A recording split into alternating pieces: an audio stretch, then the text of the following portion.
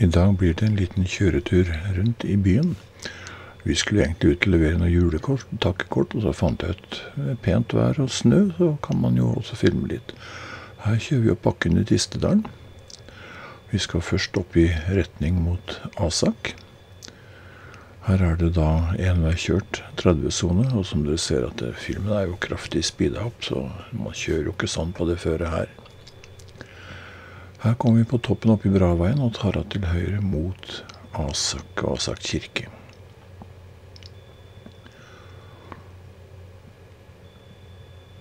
Det er folk som måtte stå i veien, de kom ikke inn, drev og måka for å få plass til å kjøre inn bilene sine.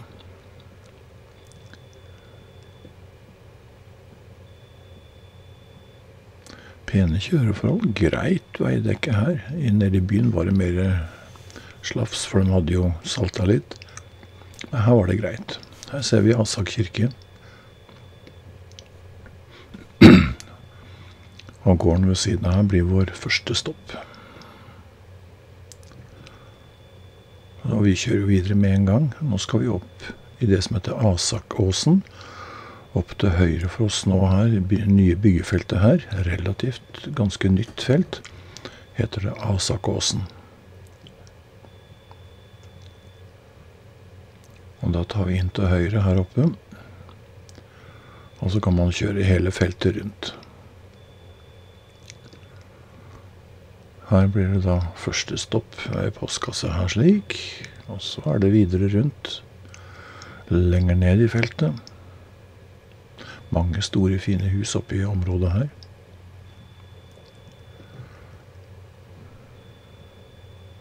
Flott vær som dere ser utover. Fine skyer og sola gyller. Og der var andre stoppet. Og da kjører vi gjennom rundt i feltet, som du ser. Vi kommer ut igjen nesten der vi kom inn på feltet.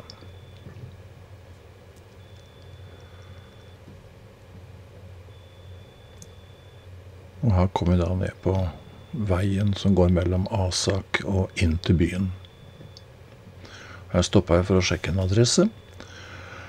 Og så kjører vi videre mot Halden.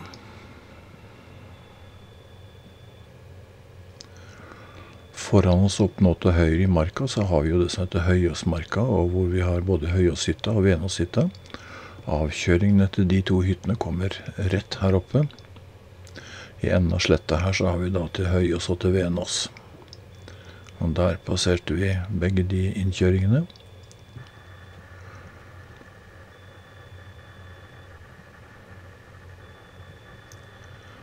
Så kommer vi nedover, og det vi ender opp i nå, er et sted som heter Gimle, eller Gimlekrysset. Stor rundkjøring. Men her er det bebyggelse på begge sider nedover hele tiden, og relativt litt eldre. Det har vært i mange, mange år.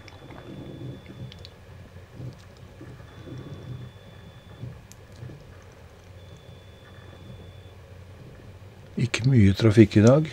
Noe er det, men eh, er veldig mange som holder seg hjemme når det er sånt føre.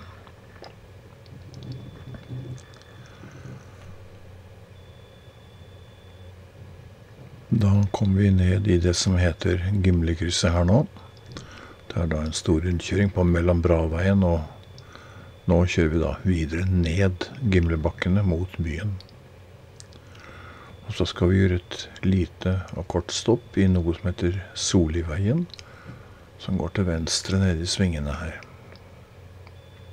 Her skal vi inn, da. Her er også ei postkasse som får et kort. Og så er det ut på hovedveien her igjen, og til venstre ned mot Halden.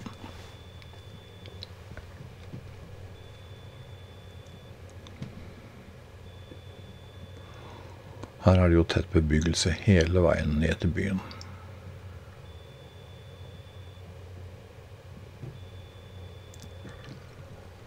Her passerer vi da Os allé, og vi kommer ut ned mot den nye Oshallen som ligger til venstre her. Her tar vi opp til høyre, opp Dyrendalsveien. Så tar vi til venstre ut her og kjører det som heter Markus Tranes gate. Nå skal vi litt ut av byen, for vi skal ut på Li handelsgartneri og handle noen blomster. Dette er Markus Trans gate, her til høyre ligger Tintan Food. På høyre passerte jeg har meget god thaimat. Parkhotell til venstre her, og en stor rundkjøring og ut av byen. Har vi Rød herregård rett foran Rødsparken til venstre her for oss nå.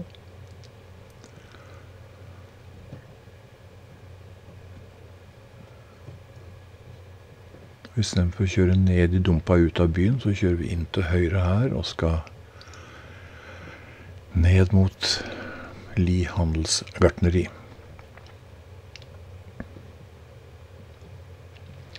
Tidligere lå Biltilsynet til venstre nede i bakken her. Nå er jo det flytta inn til Sarpsborg, eneste sted i Østfold.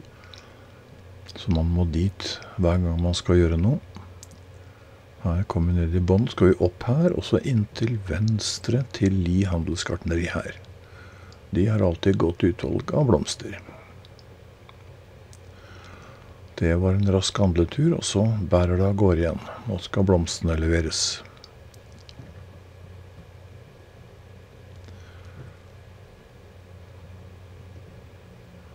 Så ringte telefonen, så ble det å sjekke årene tilbake, og så ut på veien igjen. Og vi fortsetter videre her opp i byen. Og så tar vi av.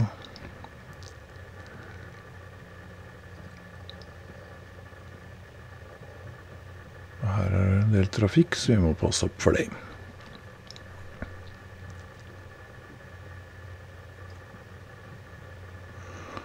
Så skal vi inn til høyre oppi her og inn til noen blokker som ligger oppe i nærheten av det gamle sykehuset. Her blir det en liten stopp.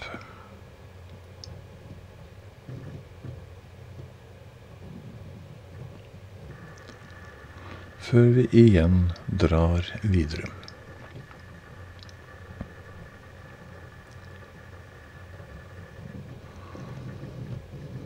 Da var første blomst levert. Så skal vi videre ned her, og så skal vi bort og inn i Landstadsvei, som er nabogate der vi kjører nå. Blir opp til høyre her, inn i Landstadsvei, og her skal det også leveres blomster. Og så begynner turen å nærme seg slutten.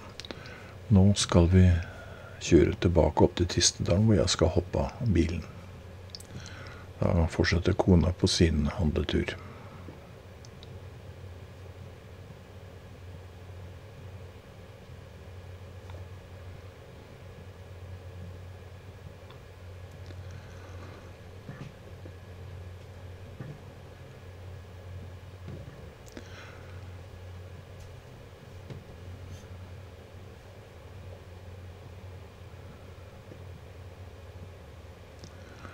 Nå kommer vi opp mot et område som heter Brøløs.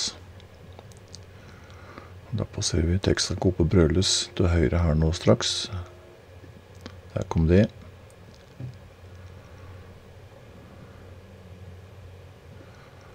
Så kommer vi opp til en stor rundkjøring på Braveien. Her kan vi kjøre rett igjennom opp mot Rakkestad hvis man skal det, men vi skal til høyre mot Tistedal. Hjortsberg skole ligger til venstre for oss her.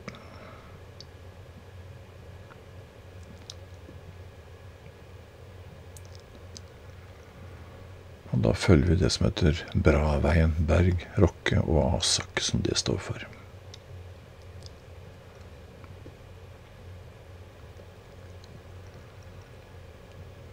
Litt mer trafikk har det blitt i løpet av time og halvannen vi har vært ute og kjørt så langt. Der var det rundkjøringa vi kom ned gjennom i stad. Til venstre rett her borte så ligger ishallen i Halden. Vi, hadde vi tatt inn til venstre her, så hadde vi kommet til ishallen. Men vi følger Braveien videre. Ned til Os til høyre kunne vi ha tatt her. Og litt her borte så kommer vi ned til det som heter Oskleva, som nå er stengt for det er noe veiarbeid, så der får man ikke kjørt ned. Men Her kunne man tatt ned til Oskleva før. Braveien går greit rundt å kjøre den til Tisteren. Det er litt lengre enn å kjøre tvers gjennom byen, men det er mindre trafikk her. Langs denne veien finner vi også to sykehjem eller gamlehjem, dementboliger. Vi har både Bergheim og Solheim. Kommer straks til dem her. Nye Bergheim ligger til høyre her nå. Der er Bergheim.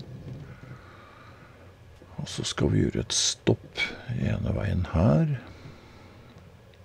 Her er også vareinnleveringa til Bergheim også, i denne gata her.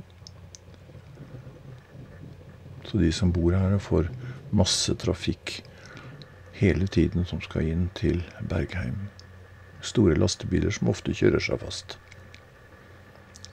Så er det ut på Braveien igjen. Og her borte til høyre kunne vi ha tatt ned til Solheim, som også er et stort eh, senter for eldre og demente og sykehjem. Så går det bra veien videre her.